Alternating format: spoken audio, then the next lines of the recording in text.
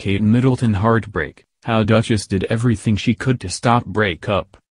Kate Middleton clung to her relationship with Prince William when he was having doubts back in 2007, a friend claimed at the time.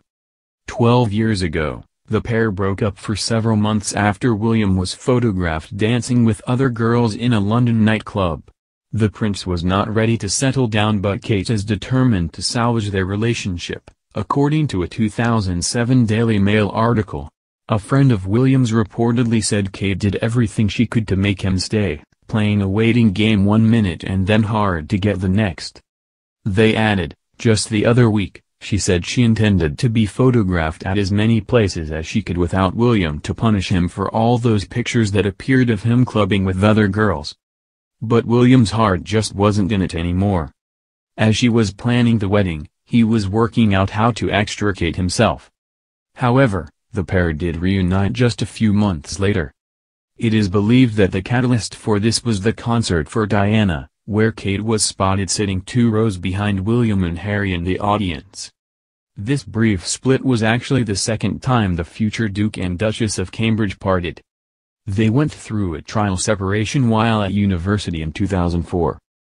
Former BBC royal correspondent noted how Kate handled herself brilliantly during the second breakup. Speaking to the documentary Prince William at 30, uploaded to YouTube in June 2012, she said, she did not make a fool of herself and crucially she did not talk to the press. She was photographed going to parties however, as royal photographer Kent Gavin noted.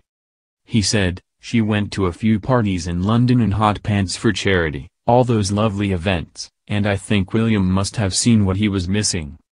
Despite his previous doubts, William soon realized Kate was the person he wanted to be with.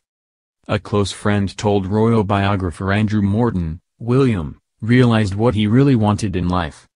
He thought he could do better, but realized very quickly what he had given up.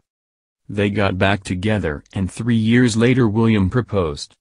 They married in 2011 and have since had three children, Prince George, Princess Charlotte, and Prince Louis.